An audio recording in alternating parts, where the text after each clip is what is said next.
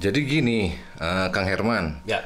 eh, rencananya nih eh, untuk bisa mengobati, karena di- tidak tidak, jadi eh, Jammers itu merindukan Kang sosok Kang Herman eh, saat di Jamrud itu seperti apa.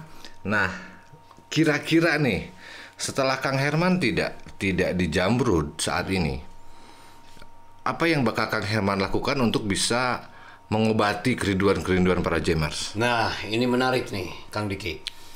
Dari eh, berbagai komen yang juga saya ikuti terus setiap harinya di YouTube dan berbagai sosmed yang lain. Iya. Di situlah eh, saya akan mempertanggungjawabkan eksistensi saya dengan satu band dan satu gitaris yang akan kita arrange dan kita hadirkan. Tentunya Jammers nanti tahu Oh gitu. kemasannya akan seperti Berarti apa. eh, Kang Herman seperti mempunyai eh, suatu eh, karya yang bakalan dikeluarkan gitu ya. Jadi eh, surprise buat para jammers gitu ya. Betul.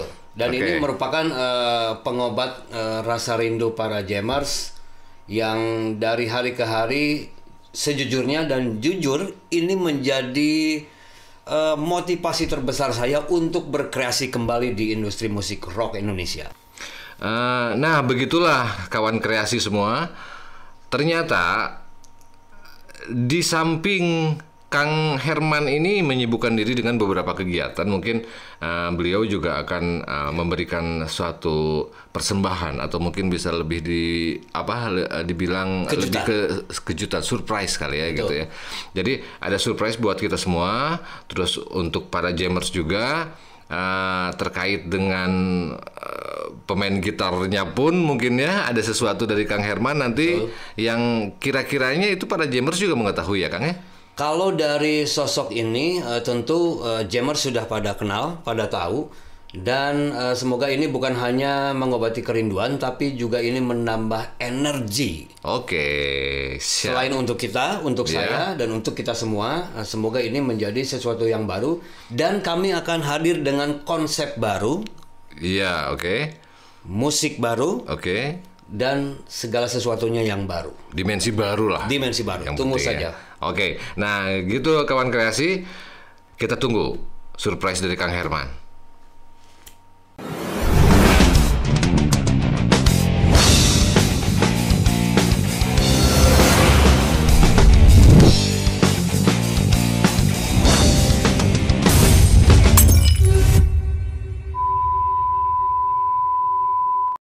Jadi gini Kang, Ya. setelah kita ngobrol-ngobrol pertama waktu itu, Iya. saya merasakan ada eh, yang disimpan nih dari Kang Herman ini nih. Jadi maksud saya, jadi nggak nggak apa ya. Jadi mungkin eh, kawan kreasi juga bisa merasakannya. Jadi nggak terlalu terlalu keluar gitu. Eh, kenapa tuh Kang? Kok maksud saya saya sih pengen Kang Herman berada di sini, berada di acara pura-pura podcast ini. Saya pengen ayo keluarkan apa gitu. Kalau saya boleh bilang jujur Kang Diki ya. Ya. Di awal dan eh, di beberapa tayangan sebelumnya eh, pembicaraan saya mungkin masih normatif. Tapi Oke, ya. kalau Ya, sesungguhnya sebetulnya saya masih menyimpan banyak eh, sesuatu yang mungkin akan saya keluarkan dengan salah satu sosok berikutnya Oke. dan itu saya ingin eh, lebih gamblang lagi. Oke, nah gitu kawan kreasi. Jadi kita tunggu aja videonya. Nanti mungkin beliau akan uh, datang beserta seseorang. Siapakah itu? Nanti kita tunggu tayangannya.